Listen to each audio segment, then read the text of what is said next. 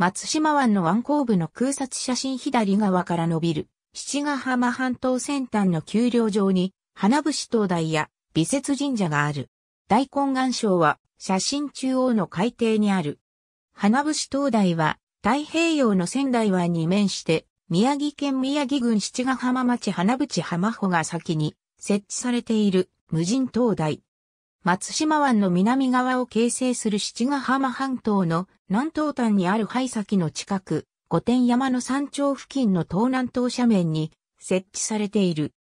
総工費1578万円で2年かがりで建設され、1964年10月27日に初点灯した。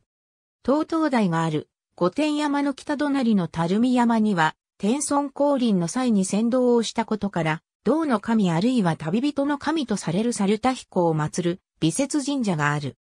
同社はかつて松島湾港の中点の沖合に位置する大根岩礁にあり、869年の上岸地震で海中に沈んだため御殿山に潜宮したが、当地は風が強く、社殿がたびたび破損したため垂水山に潜宮したとも言われる。東東台はこの美節神社の御殿山時代の境内付近に建てられ、東東台の北側には美節神社の旧址を示す石祠が3基祀られている。また、大根岩礁には、現在、海中に大根明神が祀れており、旧暦の6月1日にアワビを奉納する大根明神祭が行われている。なお、大根岩礁は黒潮の影響を受けて南質サンゴが多く生息しているが、ダイビング禁止となっており、また、アワビは神への供物であるためアワビ漁も禁止されている。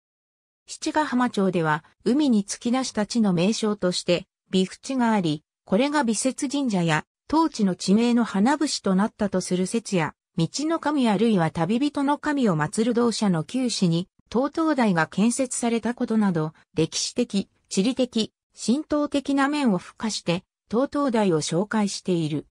仙台塩釜港は、北側の塩釜区と南側の仙台区とに、港区が大きく分けられているが、両港区の海上の境界は東東台から124度に、港海線まで引いた線を用いている。この境界線は、東東台から大根岩礁に引いた線と一致し、言い伝えによる美節神社の2カ所の旧社殿をつないだ線でもある。